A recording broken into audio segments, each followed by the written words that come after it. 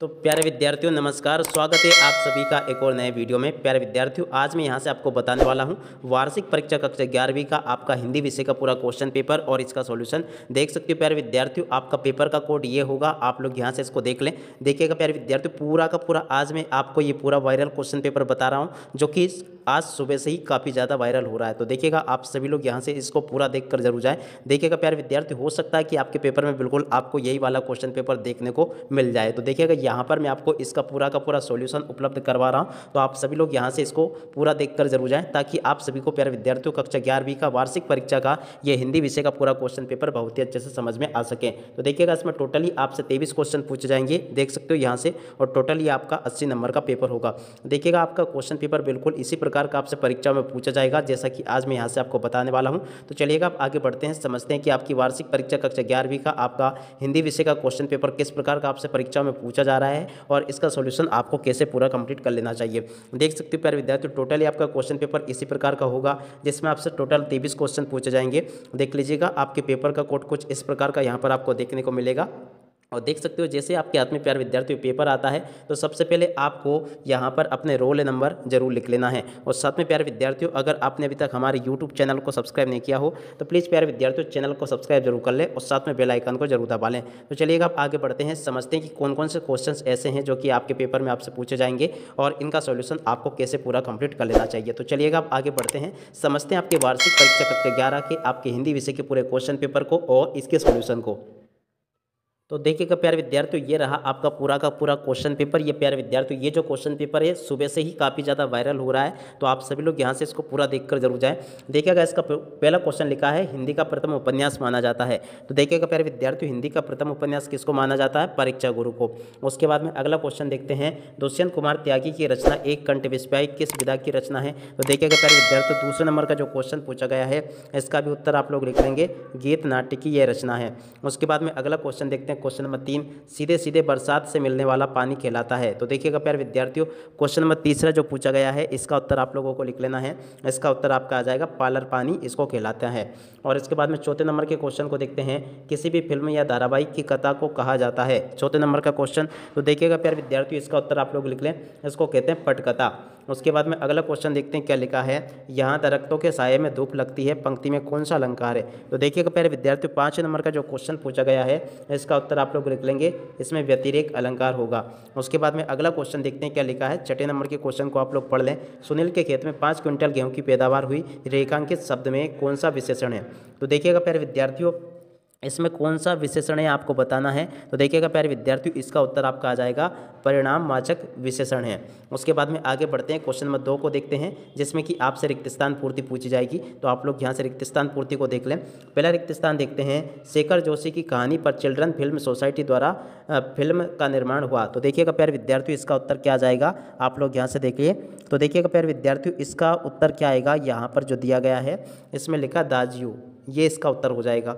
उसके बाद में क्वेश्चन नंबर दो को देखते हैं, क्या लिखा है? आर में संकलित मीरा के पद से लिए गए हैं। तो देखिएगा, प्यारे विद्यार्थियों आर में जो संकलित मीरा के पद है, किससे लिए गए हैं? तो इसका उत्तर आप लोगों को लिख लेना है मीरा पदावली से। उसके बाद में अगला क्वेश्चन देखते हैं, क्या लिखा है? काल कलाओं के लिए स्वर्ण युग है। तीसरे नंबर का क्वेश्चन तो यहाँ से आप लोग लिख लें, काल कलाओं के लिए स्वर्ण युग कौन सा है? गुप्त काल है। यहाँ से आप लोग नोट कर लें। उसके बाद में अगला क्वेश्चन देखते हैं, ऑल इंडिया रेडियो की स्थापना में हुई थी। कब हुई थी? चौथे नंबर का क्वेश्चन आप लोग यहाँ से इसको देख लीजिएगा। तो देखिएगा, प्यारे विद्यार्थी इसकी स्थापना 1936 में हुई थी। और इसके बाद में अगला क्वेश्चन देखते हैं। गाय पालतू पशु है, इस वाक्य में शब्द शक्ति है। पाँच नंबर का क्वेश्चन तो देखिएगा प्यारे विद्यार्थियों, इसमें कौन सी शब्द शक्ति है ये आपको बताना है? तो देखिएगा प्यारे विद्यार्थियों, इसमें आपकी अमिदा शब्द शक्ति होगी।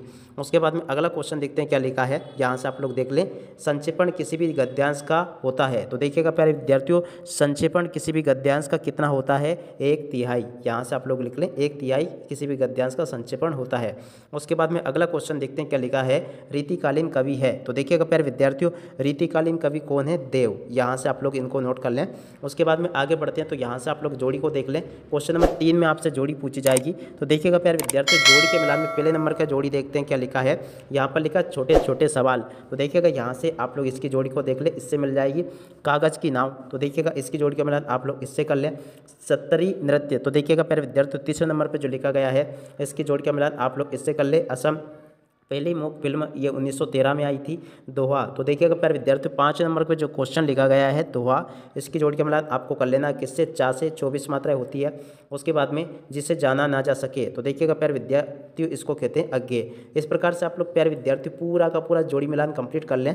अब इसके बाद में आगे बढ़ते हैं। तो यहाँ से आप लोग प्यारे विद्यार्थियों, इस प्रकार से एक वाक्य, एक शब्द में उत्तर को देख लें आप सभी लोग। इस प्रकार से आपसे क्वेश्चन पूछे गए हैं। तो पहला क्वेश्चन पढ़ते हैं, वानर नामक बाल पत्रिका का संपादन किसने किया? तो देखिएगा प्यारे विद्यार्थियों, इसका संपादन किया था राम नरेश त्रिपाठी ने। यहाँ से आप लोग नोट कर लेंगे, राम नरेश त्रिपाठी ने वानर नाम की बाल पत्रिका का संपादन किया था। उसके बाद में अगला क्वेश्चन देखते हैं क्या लिखा है। यहाँ पर दिया गया है, रमेश मोहन को अपने साथ कहाँ ले गया? तो देखिएगा प्यार विद्यार्थियों, रमेश मोहन के साथ अपने आप को कहाँ ले गया था? लखनऊ। यहाँ से आप लोग नोट कर लें, क्या लेके गया था? लक और आगे आपको लिखना है नव लेके गया था। उसके बाद में अगला क्वेश्चन देखते हैं क्या लिखा है। यहाँ पर दिया गया है, अनुपम मिश्र ने पर्यावरण संबंधी मुद्दों पर कौन सी पुस्तक लिखी? तीसरे नंबर का क्वेश्चन तो देखिएगा प्यार विद्यार्थियों, यहाँ से आप लोग लिख लेंगे। इन्होंने कौन कौन सी पुस्तकें लिखी? तो देखिएगा, इनकी कौन कौन सी पुस्तकें लिखी? तो इनका नाम आपको बता देता हूँ मैं। इन्होंने लिखी थी, आज भी करे हैं तालाब और इसके बाद में, राजस्थान की रजत बूंदों के साथ में बीस पुस्तकें और लिखी थी। इस प्रकार से आप लोग लिख लें। उसके बाद में अगला क्वेश्चन बीट से क्या आशय हैं? चौथे नंबर का क्वेश्चन तो देखिएगा, प्यारे विद्यार्थियों, इसका आशय होता है, संवाददाताओं के बीच काम का विभाजन। तो इसको बीट कहा जाता है। उसके बाद में अगला क्वेश्चन देखते हैं क्या लिखा है। श्रृंगार परक रचना में कौन सा गुण पाया जाता है? तो देखिएगा प्यारे विद्यार्थियों, श्रृंगार परक जो रचनाएँ होती है, उनमें माधुर्य गुण पाया जाता है। यहाँ से आप लोग नोट कर ले। माधुर्य गुण। उसके बाद में अगला क्वेश्चन देखते हैं क्या लिखा है। यहाँ से आप लोग देख लें, निपात किसे कहते हैं? छठे नंबर का क्वेश्चन तो देखिएगा प्यार विद्यार्थी, यहाँ से आप लोग नोट कर लें, किसी भी बात पर आश्रित बल देने के लिए जिस शब्द का प्रयोग किया जाता है, उसे निपात शब्द कहते हैं। तो देखिएगा, ये इसका उत्तर आ जाएगा। अगला देखते हैं सातवें नंबर, आठवें नंबर सातवें नंबर का क्वेश्चन तो इसका उत्तर क्या होगा?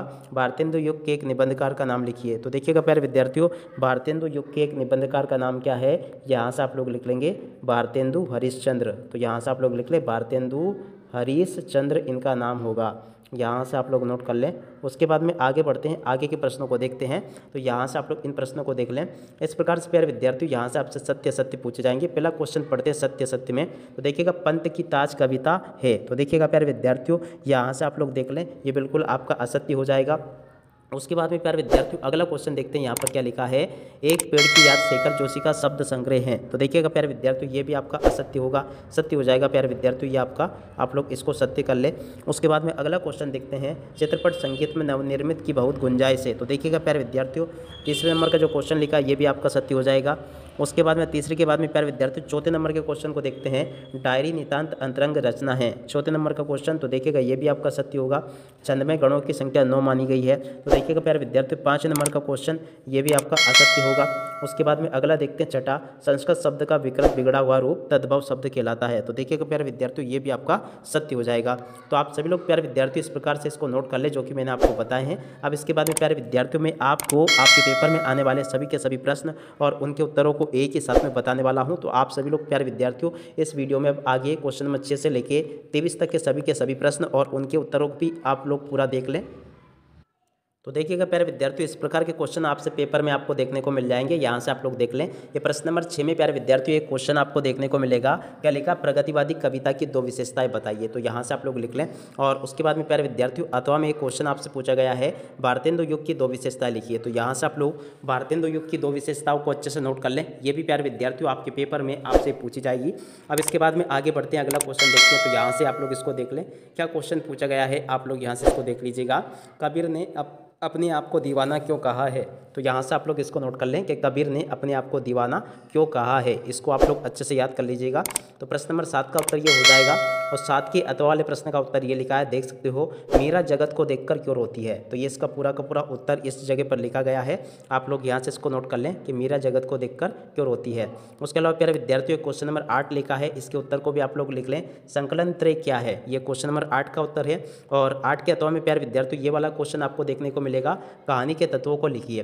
तो यहाँ से प्यारे विद्यार्थियों, आप लोग कहानी के तत्वों को नोट कर लें। उसके बाद में क्वेश्चन नंबर नौ लिखा है, देख सकते हो लड़कियाँ है, वे घास फूस की तरह बढ़ती चली जाती है। तो इस वाले क्वेश्चन को आप लोग अच्छे से याद कर ले और पूरा याद कर लीजिएगा। उसके बाद में प्यार विद्यार्थियों, ये वाला क्वेश्चन आपको देखने को मिल जाएगा। आप सभी लोग देख लें, कृषि विभाग वालों ने मामले को हॉर्टिकल्चर विभाग को क्यों सौंपने का पीछे क्या तर्क दिए तो इसको आप लोग देख लें और अच्छे से याद कर लें। और इसके बाद में अगला क्वेश्चन ये पूछा गया देख सकते हो, यहाँ पर दिया गया है, रेजाड़ी पानी किसे कहते हैं? इस क्वेश्चन को आप लोग देख लें। यह क्वेश्चन नंबर दस का पूरा उत्तर लिखा गया है। उसके अतः में प्यार विद्यार्थी ये क्वेश्चन लिखा है। देख सकते हो यहाँ पर क्या लिखा है? तुम दूसरी आशापूर्ण देवी बन सकती हो। जेट का कथन रचना संसार में किस सत्य को उदृत करता है? तो यहाँ से आप लोग इसको याद कर लें अच्छे से। और इसके बाद में आगे बढ़ते हैं। आगे के प्रश्नों को देखते हैं। तो यहाँ से एक इस वाले क्वेश्चन को देख ले आप लोग क्या लिखा है। यहाँ से आप लोग इसको याद कर लीजिएगा, औपचारिक पत्र कौन कौन से होते हैं? तो यहाँ से आप लोग इसको याद कर लें। और इसके अलावा प्यार विद्यार्थी उसकी अथवा में ये वाला क्वेश्चन आपको देखने को मिलेगा। देख सकते हो यहाँ पर क्या दिया गया है? संचार क्रांति क्या है? तो यहाँ से आप लोग संचार क्रांति को अच्छे से याद कर लें। और इसके बाद में आगे बढ़ते हैं, अगला क्वेश्चन ये लिखा है। देख सकते हो, महाकाव्य एवं खंड काव्य में अंतर बताइए। तो यहाँ से प्यारे विद्यार्थियों, आप लोग महाकाव्य और खंड काव्य में अंतर को नोट कर लेंगे आसानी से, ताकि प्यारे विद्यार्थियों, आप सभी लोग इसको वार्षिक परीक्षाओं में अच्छे से लिखकर आ सके। तो देखिएगा प्यारे विद्यार्थियों इस प्रकार से आप लोग इसको याद कर लें। अब इसके बाद में आगे बढ़ते हैं, अगला क्वेश्चन देखते हैं। तो देखिएगा प्यारे विद्यार्थियों इसके बाद में यहाँ से आप लोग एक इस वाले क्वेश्चन को देख लें, क्या लिखा है? मुक्तक क्षण की परिभाषा उदाहरण सहित लिखिए। तो यहाँ से प्यारे विद्यार्थियों, आप सभी लोग मुक्तक क्षण की परिभाषा को लिख लें, उदाहरण सहित इस जगह से।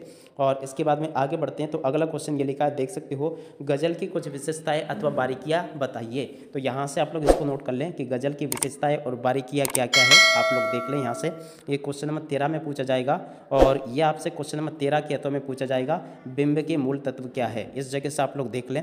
उसके बाद में अगला क्वेश्चन ये लिखा है, देख सकते हो, मुहावरे एवं लोकोक्तियों में कोई दो अंतर बताइए। तो यहाँ से आप लोग इसको नोट कर लीजिएगा कि मुहावरे और लोकोक्तियों में दो अंतर क्या क्या है। इस प्रकार से आप सभी लोग यहाँ से इसको नोट कर लें और इसके बाद में आगे बढ़ते हैं। अगला क्वेश्चन लिखा देख सकते हो, क्षेत्रीय शब्द की दो विशेष, दो उदाहरण दीजिए। तो यहाँ से आप लोग लिख लें इसको। उसके बाद में अगला क्वेश्चन देखते हैं।